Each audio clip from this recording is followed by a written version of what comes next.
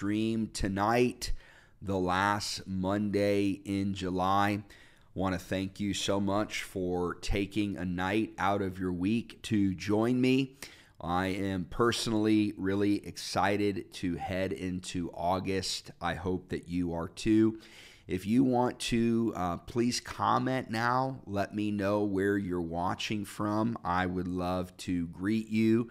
Uh, our team is here to pray for you and to lift you up before the Father. And um, I just know that God is going to move tonight on the stream. And um, I'm going to be sharing something really exciting uh, with you tonight. I have a surprise for all of us. I hope that the surprise will be a blessing to you and your spiritual uh, journey. But without further ado, here's the surprise my brand new book, the pre order copies just arrived. The Warrior Bride. Y'all, I am so excited about this. This is actually, a lot of people don't know this. This is my 14th book that I've written. This is number seven that has been published with Destiny Image. They're one of the largest charismatic publishers in the world. But the book that I'm holding in my hand officially debuts online and in bookstores around the world September 5th but here we are, July 31st, and we have a small shipment of copies pre order that just got to our doorstep. So if you're on the stream tonight and you would like a copy, there's going to be a link that's going to be dropped in the comment section right now, or you can go to my website right above me, jeremiahjohnson.tv but you are the first to hear that my new book, a couple of them just got here The Warrior Bride. And I want to talk on the stream tonight about why I wrote this book, what was happening. I might even give you a couple of sneak peek reads. Um, but as I was preparing for tonight and the shipment just got here, I'm like, I've got to talk about the Warrior Bride. It has a subtitle Conquering the Five Demonic Spirits That War Against God's End Time Church. You know, if I look at my journey and a lot of people like man how have you written 14 books already you know i tell people it's not really something that i boast in because there is so much work and so much labor. You know, I, I tell people, you know, writing books is is like a, a type of birthing because God begins to do something in you and you begin to write. And, and all of my books have been different. You know, some people ask me, you know, what's it like writing books? I mean, I tell people I, I've written some in a week, some of them have taken me years.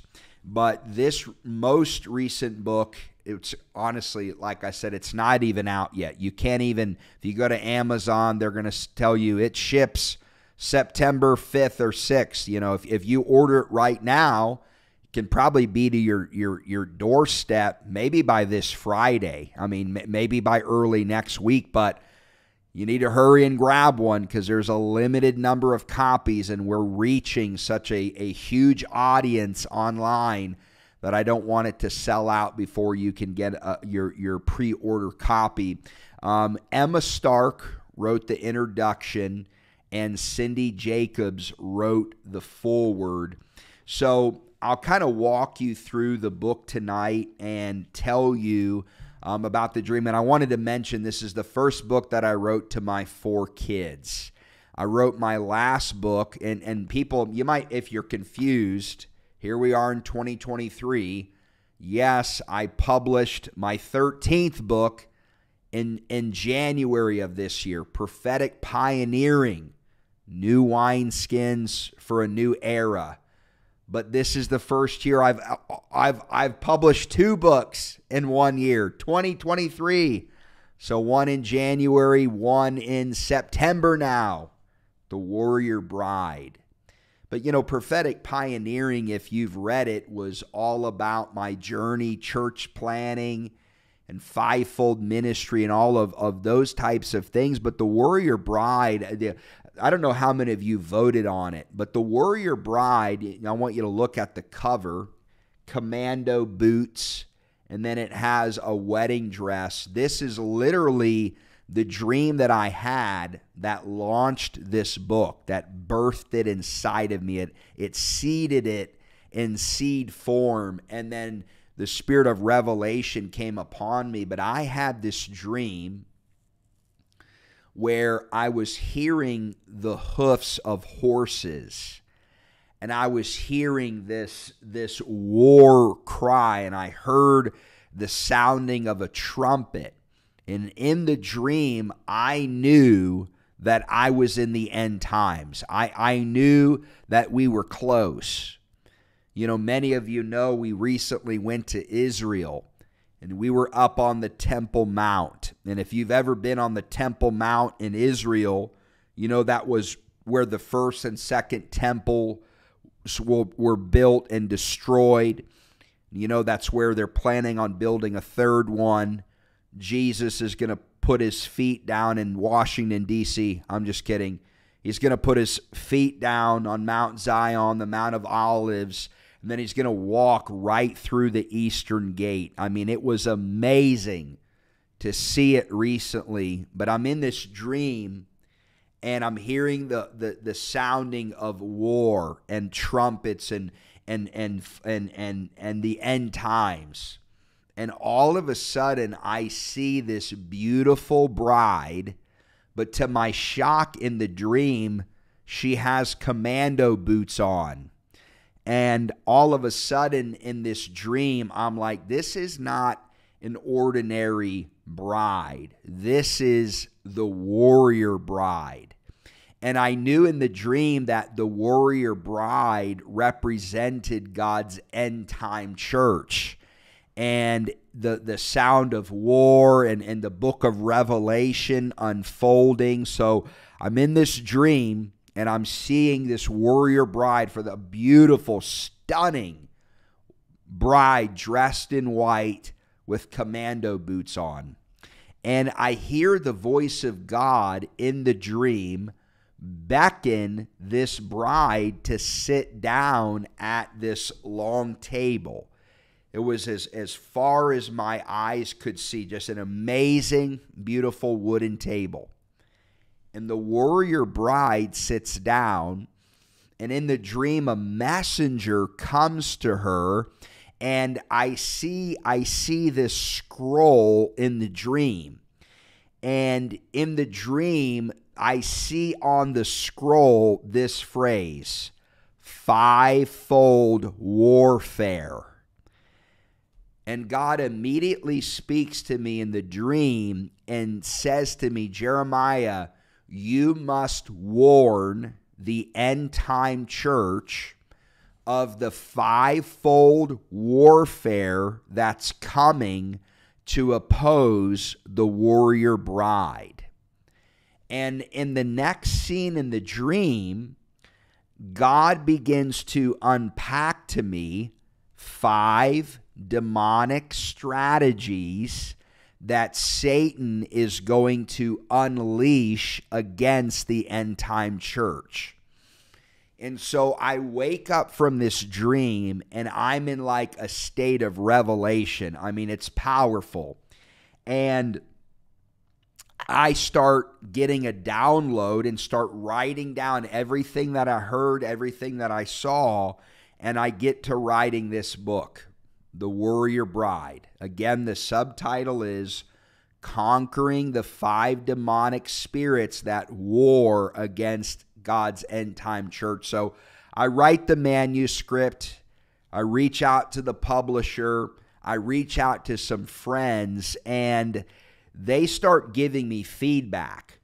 You know, obviously, keep in mind, I've written 13 books and several of them have been number one bestsellers. So, I mean, I have a history of, of book writing and getting endorsements, but I, I start getting endorsements and and people start giving me the best reviews. I mean, it's kind of like in publishing world, you're like convinced that every book that you write, you know, is your best one.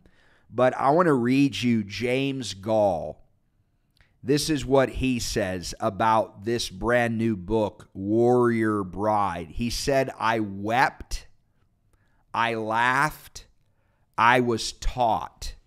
And I'm like thinking, James Goll is like, a father in the prophetic movement. He's like old enough to be my grandfather. I'm like, this book taught James Goll. He said, I was inspired to tell you everyone has something they can learn from this book. Patricia King, she said about this book, The Warrior Bride is a prophetic call to walk in victory over strategic assaults of the enemy. I had some other friends, Joseph Mattera, who is the national convener of apostolic leaders in America. He says in this new book, Jeremiah Johnson deals with some of the common undealt with issues in the church that give the devil a foothold.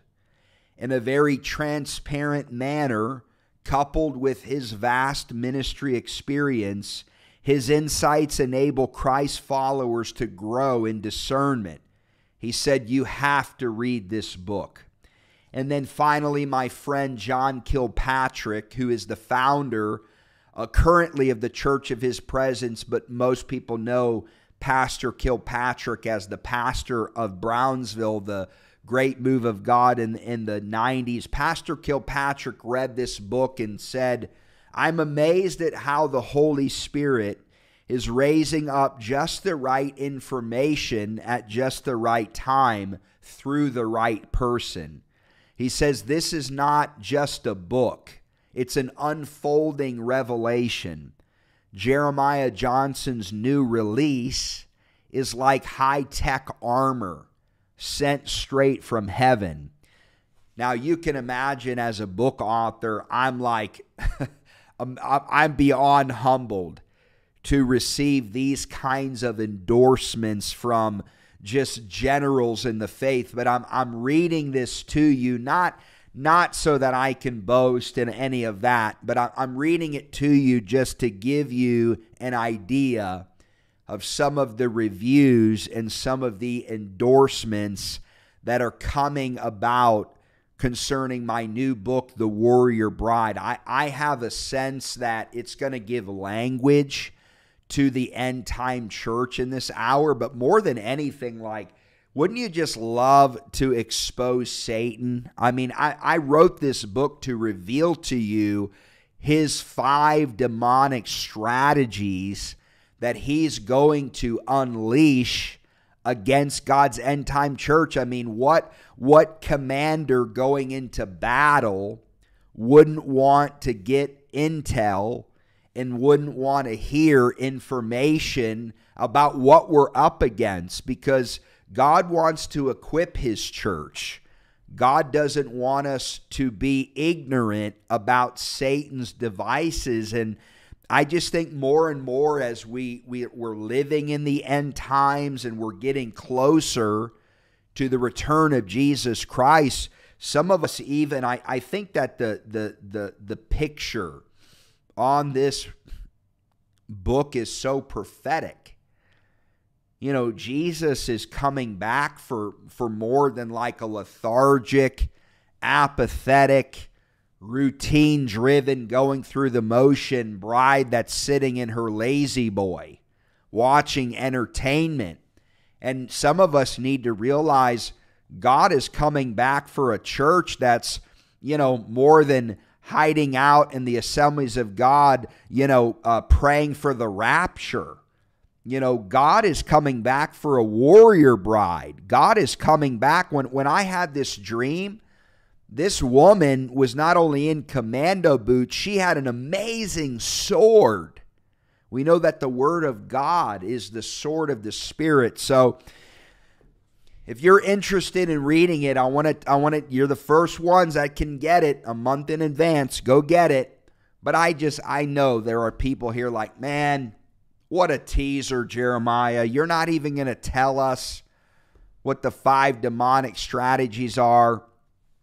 Listen. I'm going to tell you tonight what the five demonic strategies are. Some of you thought he's leading us on. He just wants us to read his book.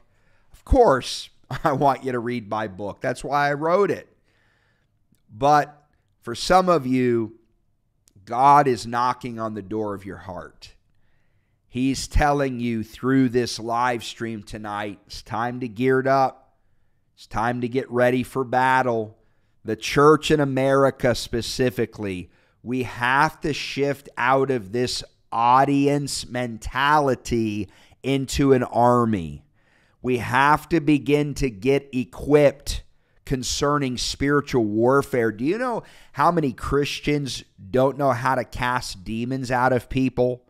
They've literally, they've never been through a, a, a warfare class. They've never been trained in healing and prophecy and how to confront demonic strategies in their family.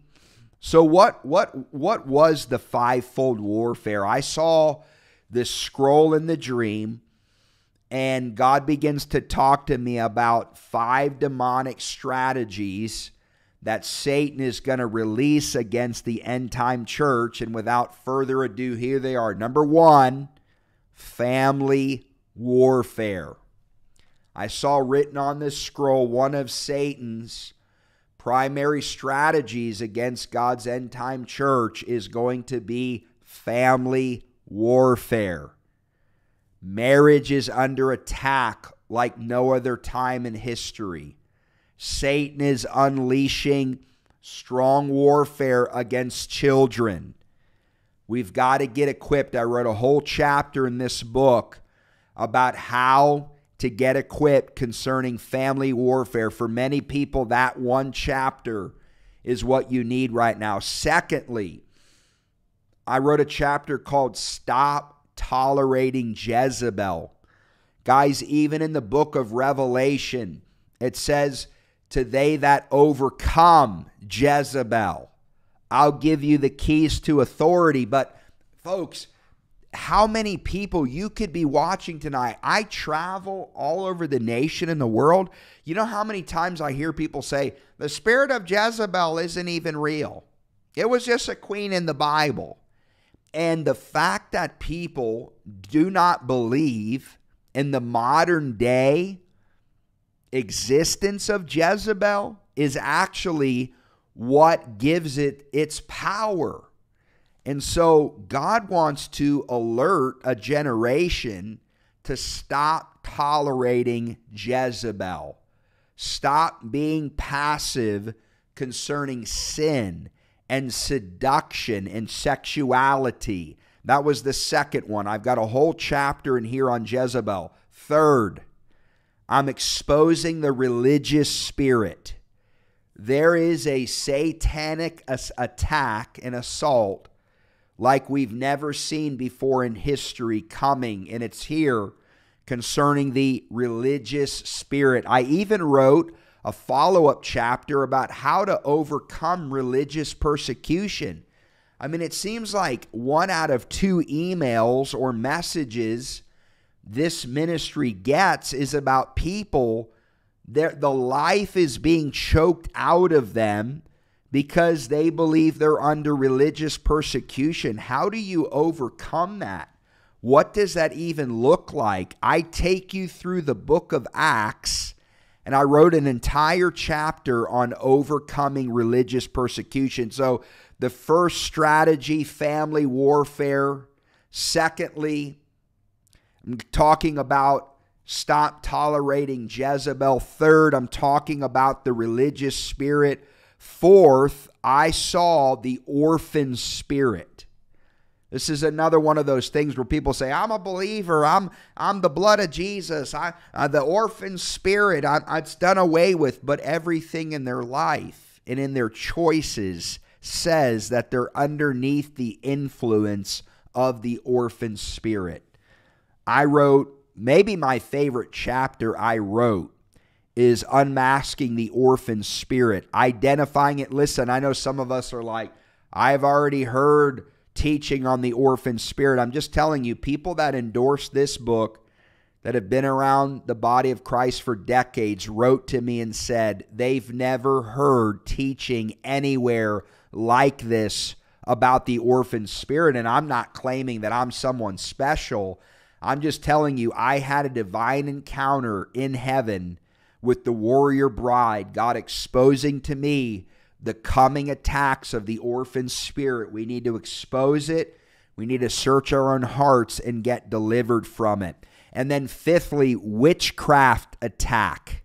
I even wrote a chapter called The Accusation Room, but I saw the powers of witchcraft. Some of you saw me interview Jenny Weaver, Ryan Lestrange but there's a coming witchcraft attack. A lot of people are like, oh, I don't know any witches.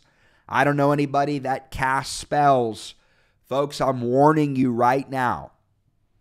As we continue on in the end times, witchcraft is primarily going to come through pulpits. And because people are looking for witches and warlocks, they're not even realizing that the power of witchcraft is going to be unleashed against uh, through false prophets like never before. So, in this book, I expose the five demonic strategies that were revealed to me against the end time church. You can get the book, explains it in detail, shares stories from my life, revelation that the Lord gave me. But I wouldn't do a proper job explaining to you even the foundation of the book. If I didn't mention to you that I wrote two chapters in here on one is called the gates of hell and the other is called the supremacy of Christ. Because what I found in my own Christian journey is that there is an imbalance and there is an overemphasis on demons and Satan in the charismatic movement, and we don't have enough foundational teaching helping us to understand as believers our authority over the demon. I don't want you to think, oh, another book exalting Satan and his demons. That's not what the warrior bride is about. The warrior bride is about exposing Satan's strategies and equipping a bride to rule and reign with Christ. It's about teaching the church that the gates of hell are not going to prevail against us. But you know what? We have to build his church. One of the phrases that I use in this book is called demon daycares. I'm actually convinced that many of the places that we're calling churches are nothing more than demon daycares where people are saying Christians can't have demons. Listen, Christians, real born again believers, cannot be possessed by the devil. If you are a born again believer, you're possessed by Christ. However, there could be places in your life that are under demonic influence that you need deliverance from. And this book is going to teach you how to get victory over the devil and how to use your authority in Christ in Jesus' name. Well, I want to once again encourage you grab the book. You can go to my website, be one of the first to grab a copy. Again, it's going to be sold in bookstores online around the world starting September 5th. But just for a limited time, just over the next, I'm sure they'll sell out, but just over the next couple of days, grab a copy, get one for a friend. It's got great reviews. I'm just encouraged by what God is doing in the body. But I want to pray for all of our viewers right now who are watching that God would deliver us from this mentality that the church is supposed to be apathetic, unengaged, hiding in the four walls until the rapture comes. Nope. God's going to raise up a warrior bride. And then some of us, we're ignorant to Satan's devices. We don't have any teaching on the Jezebel spirit. We, we've, we've never even heard of the orphan spirit. What does that look like? Am I operating in it? Some of us, God is trying to wake up and alert us to what's happening in the world around us. So let's pray. Father, we just lift the name of Jesus up this last day in July, July 31st. We thank you for this night. Lord, we thank you for what you're doing in the earth. We thank you that you are raising up a radiant, spotless bride that has commando boots on, a warring, victorious, triumphant bride. Lord, we say yes. Lord, I pray that you would shift mindsets tonight out of an audience into an army. Lord, I pray that you would use this book, Lord, to release revelation concerning who we are in Christ. God, I pray that you would use this book to expose Satan. He comes to kill, to steal, to destroy, to deceive. Lord, I pray that you would expose him in this book and that you would release tools and strategies for victory. Jesus, we love you, and it's in your name we pray. Amen and amen. Folks, thanks for joining the stream tonight. Stay updated with us about what God is doing in the month of August. Lots of exciting things happening with the Altar Global, the Altar School. We're just excited to head into the month of August, and we hope you are too. One more time, grab the book while it's still in stock. We'll see you next Monday. Bye bye.